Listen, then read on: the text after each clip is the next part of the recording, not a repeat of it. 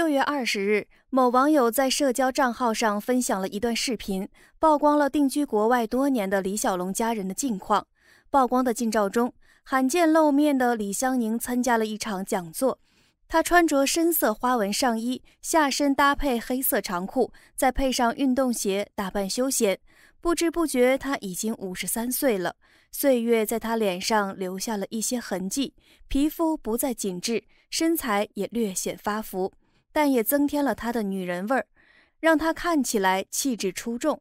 仔细观察，李香凝的眉眼神似老爸李小龙一样的那么伶俐有神。她不再拍戏，可惜了。作为功夫巨星李小龙的女儿，李香凝年轻的时候也有一个武打明星梦。为了实现梦想，大学时他特意修读了演艺专业。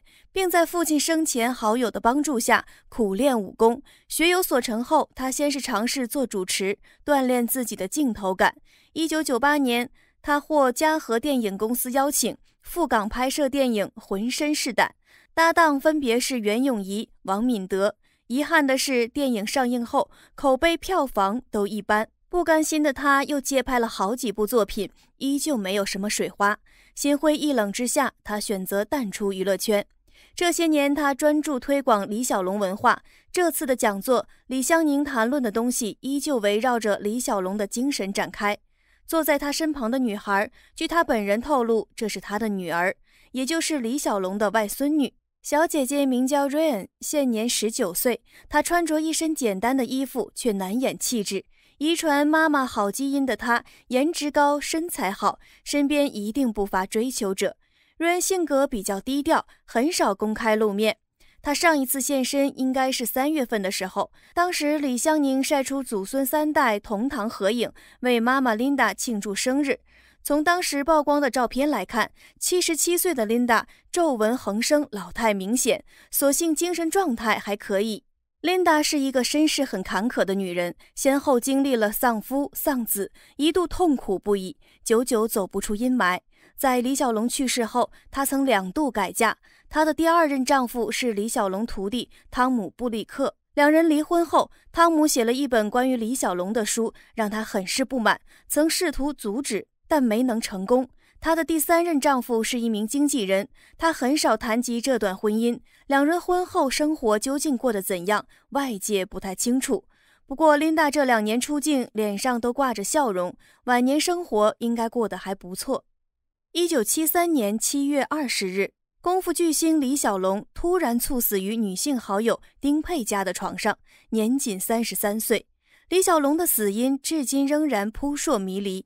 然而，早在一九五四年，李小龙刚刚拜入咏春大师叶问门下时，观察入微的叶问似乎已经看出了端倪。一九五二年，在一次上学的路上，已经成为童星的李小龙和久未谋面的好友张卓庆相见。而此时，张卓庆已经成为了叶问的入室弟子，因此在张卓庆的引荐下，李小龙最终见到了叶问，并成为了叶问的弟子。对于咏春拳，李小龙倾注了极大的激情和耐心。他每天在放学后总是风雨无阻地前往武馆，为了试验拳头的威力，他还多次用拳头击打桌椅。据叶问说，小龙一天练习咏春拳的时间至少超过五到六个小时，一般人一星期、一个月的练习量甚至比不上小龙的一天。李小龙的刻苦让叶问非常欣赏。然而时间久了，叶问却发现李小龙走路的姿势有些古怪。原来李小龙走路总是微微有一些颤的感觉，走在平地都有些走上山路里的感觉。后来叶问发现。李小龙似乎在踮着脚走路，因此叶问半开玩笑似的告诫李小龙：“小龙啊，你这走路脚跟不着地，可是短命鬼之相啊。”那么李小龙走路为何总是一颠一颠的呢？一九六三年时，答案最终揭晓。当时越南战争爆发，作为美籍华人的李小龙收到了美国军方发来了征兵令，因此李小龙参加了征兵体检。但是最终结果却让人大跌眼镜，身强力壮、武艺高强的李小龙居然没有通过体检。原来李小龙有轻度的扁平足，脚不沾地会短命，绝不是迷信，而是中国古典医学的科学总结。平足也叫做平板脚，也就是没有脚弓，运动时足部会没有任何缓冲作用，不能够长时间剧烈运动。如果勉强为之，会引发各种隐疾。而李小龙呢，却是一个完美主义者，相信人定胜天。因为扁平足使李小龙连普通人轻易就能做到的下蹲动作也无法完成，而李小龙自然不会坐视自己被身体的缺陷击败，因此李小龙进行了更加刻苦的训练。而叶问见此，只好以半开玩笑的方式告诫李小龙，不要太勉强，不要逆天而行。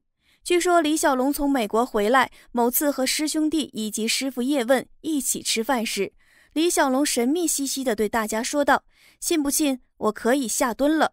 而叶问在一旁苦笑着摇摇头，因为他知道凡事都不可勉强。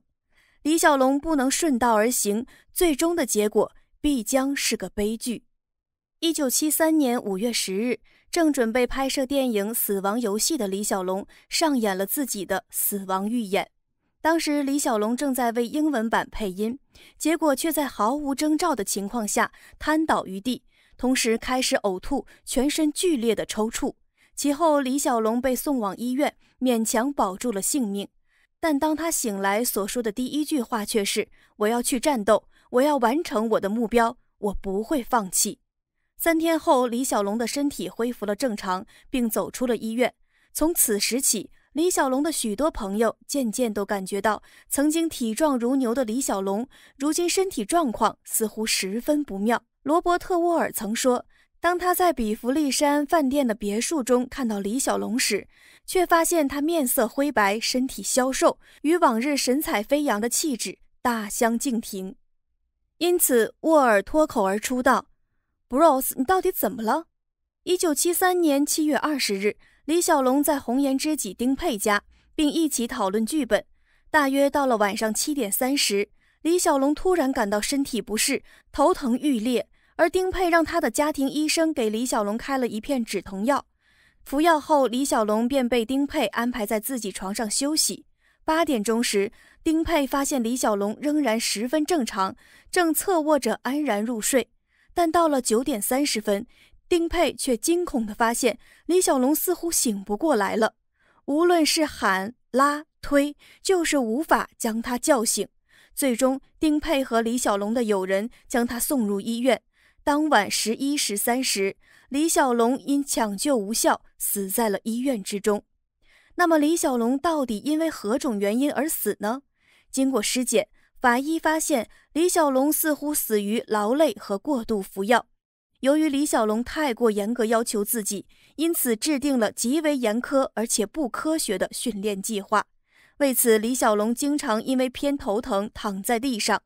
为了缓解头疼以及保持自己的肌肉，李小龙经常大量服药，一天甚至要吃上百颗药。而在当时，那些药剂都是刚刚被研发，还未证明其副作用，因此这些药大大损害了李小龙健康，同时也让李小龙变得忧郁而喜怒无常。在死前的几个月，李小龙经常对自己的妻子琳达说：“我或许不能像你一样活得长。”同时，他还经常说一些消极和晦涩的话语，似乎在为自己的死亡做预言。因此，李小龙的死完全应验了二十年前师傅叶问对他的告诫：凡事不可太勉强。正如古语说的那样：“自古英雄如美人，不许人间见白头。”李小龙的早死给这个世界留下了无穷的遗憾。